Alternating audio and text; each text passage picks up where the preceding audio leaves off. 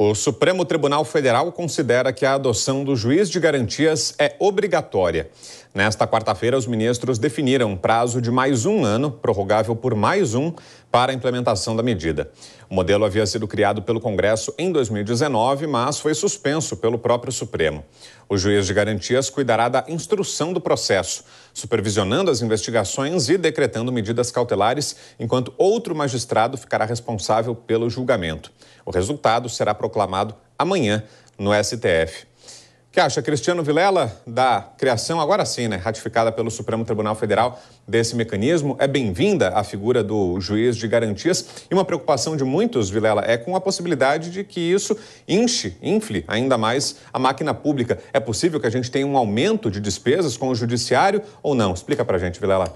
Olha, eu sou totalmente favorável, Brown, a essa criação e agora a efetivação do juiz de garantias. Eu vejo que ela é muito importante e eu vejo que é importante, inclusive, esse prazo de um ano prorrogado por mais um, para que possivelmente o judiciário possa se adequar para a efetivação dessa prática para as milhares de varas que existem, varas da justiça, nos diversos ramos da justiça que temos no nosso Brasil o juiz de garantias ele vem a separar o papel daquele que segue a instrução do processo, a coleta de provas, a oitiva de testemunhas, daquele que vai dar a sentença, a decisão final. E de uma forma geral, eu vejo que o impacto financeiro nesse sentido, ele não vai ser muito significativo, pois existe a ideia de que juízes de comarcas próximas possam fazer, às vezes, do juiz de garantias e do juiz decisor umas das outras. Portanto, eu vejo que é uma medida muito saudável